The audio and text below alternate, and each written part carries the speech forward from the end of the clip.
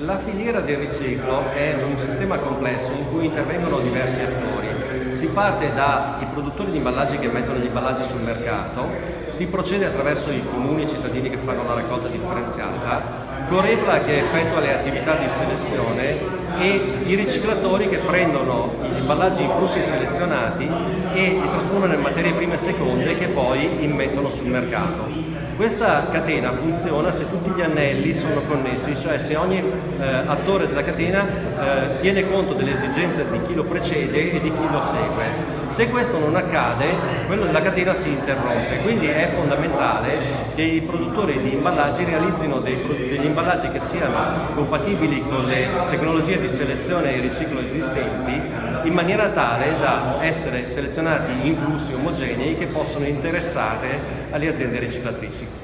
Allora, la gestione del fine vita degli imballaggi in plastica avviene attraverso il principio di responsabilità estesa del produttore, il che vuol dire che il produttore si fa carico dei costi legati alla gestione del fine vita dopo che il prodotto è diventato rifiuto.